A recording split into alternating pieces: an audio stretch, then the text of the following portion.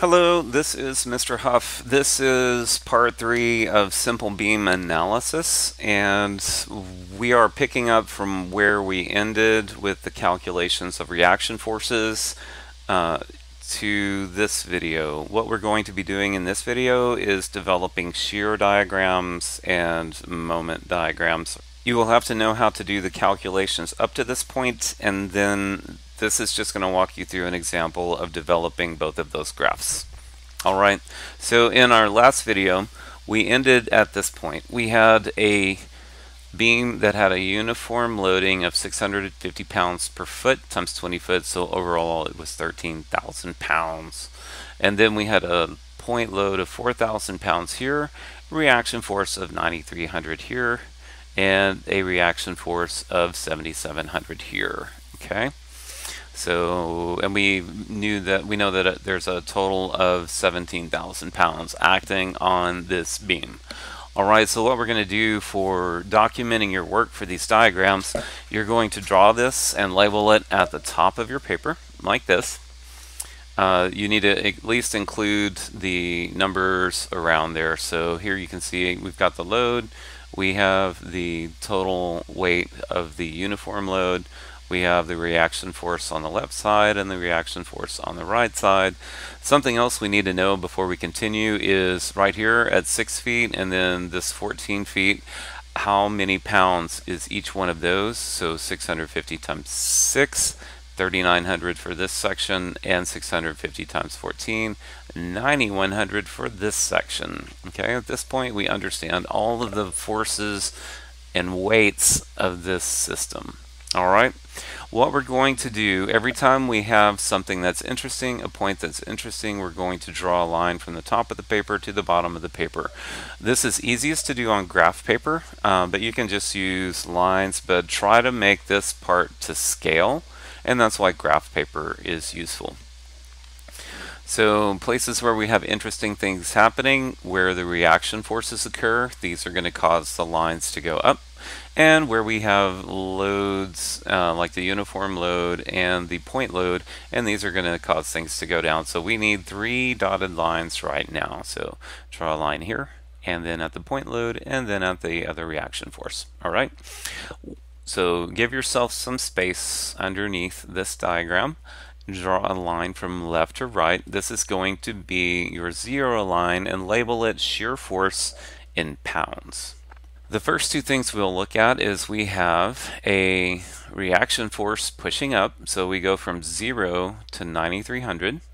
And then we have a uniform load for 6 feet, and that's 3,900 pounds going down. So if you look at this, we go from 0 to 9,300, then 9,300 minus 3,900 equals 5,400. So we put a point right here and draw a straight line connecting those. So we've added a line going up and then a line going at a slope down. Notice how I did not put tick marks here to show all of the uh, specific values. This is just visually proportional. Really the most important things we understand are these numbers. Uh, the scale can be off, but you can see that 9300, 5400, this is a little more than half of 9300. So just kind of estimate proportionally where that's going to be. I don't, you won't have room on your paper if you start putting in the tick marks for all of these. All right. So just make it kind of proportional. The next thing we need to worry about is this point load. So here we go. The point load is 4,000 pounds and it's going to push straight down. Okay, so we are going to go from 5,400 minus 4,000. That's going to push us down to 1,400 right here. So put a point, mark it over here, and that's going to be real close to the zero line compared to 9,300. Again, it's just got to be kind of proportional, and we'll go from there. So the next thing we have to deal with is the rest of this beam, the weight here. So we know that this beam weighs 9,100 pounds, so let's go take a look at that. we're going to take 1400 minus 9100 and that gives us a negative 7,700 pounds. So we mark that down here. Notice it's not as far from zero as the 9300 but more than the 5400. So estimate where that is and put a point and then draw a straight line that connects the two. And then we have this reaction force here on this side, and it is positive 7700. So we go from this point back to zero. So if we did our math correctly, we will start at zero, go up, come down, come down some more, and then return to zero. And that will be true on the problems that I give you this week. One of the things we need to understand here is where the line crosses zero. So in this case, we can find that we know at this point it's 1400 pounds and from here to this point it's uh, gaining weight at 650 pounds per foot. So if we do a little bit of math here, then we can find that this distance here is 2.15 feet and we know it's 6 feet from this side so 6 plus 2.15 is 8.15 and we know that the rest of the beam from this point is 11.85 about I rounded that uh, we'll talk more about that in a minute so this is the graphical analysis method and uh, we'll talk about some other things you could do in just a moment. So there will be some a little. It's gonna you will see some rounding errors as you go through this.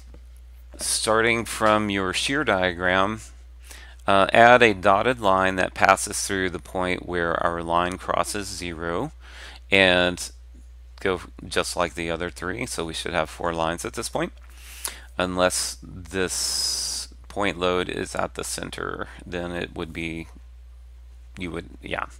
Okay, so the next thing we need to do is drop down below this, give yourself some room to work, and we're going to have a moment diagram, and we're going to start at zero. Uh, and before we can do anything, we need to find the moment at this point and the total moment at this point. Those are two interesting things we'll see on the moment diagram. So to find the moment here, we need to add up all the area under this curve. Technically, this is an integral function, but we're doing this graphically, so it's not a bad thing. So if we look at this, this is a rectangle that's 5400 by 6, and a triangle that is 3900 by 6. So we look at those too So if you're finding the area of a if you're finding the area of a rectangle, it's length times width, so we get this number for this area. And if you're do, looking at a triangle, it's 1 half times base times height, which gives us this number for this little triangle here. Add those two together, we know at 6 feet is 44,100 foot-pounds at 6 feet.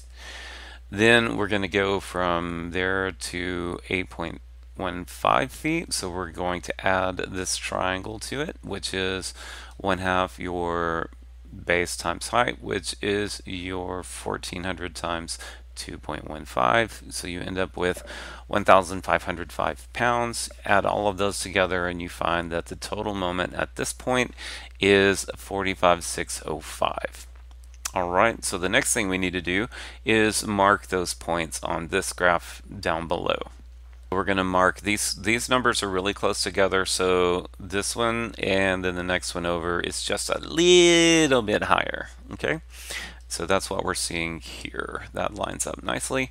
Uh, there's another way to do this. We're using a graphical method as I mentioned earlier. You can also find this point and then sum the moments up to that point and find this number pretty close to the same.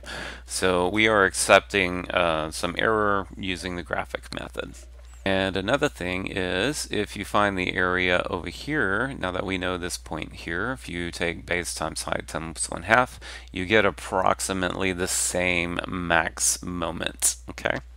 So this is the highest moment that the beam experiences.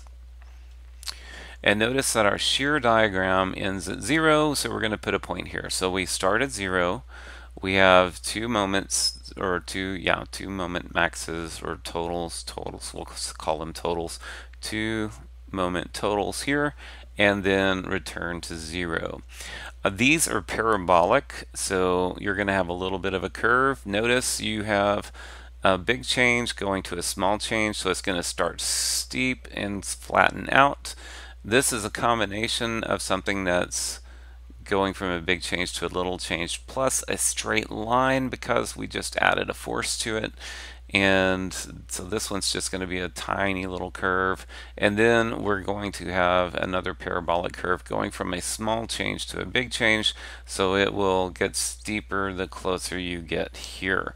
Um, I'm not going to be real picky about these curves. Just make them obviously curved and mark these points. So I know that you know what you're talking about. Alright so your graph will look like this. When we finish something like that.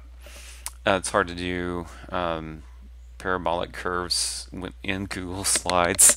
It's not very good. Okay, so it'll look kind of like this. Again, I want to see 0 and these two moments and then 0, and that will be plenty. So what I should see on your work, it takes about one page to do these diagrams. I would expect to see the diagram at the top, the shear force in the middle, and the moment at, at the bottom. It should be easy to read all your numbers. It should be easy to see your lines, and any work that you did should neatly be documented uh, somewhere like on the page or on another page to show me how you found the different values to fill in these graphs. So that's what I'm expecting to see. All right, that's plenty for now. Thank you for watching.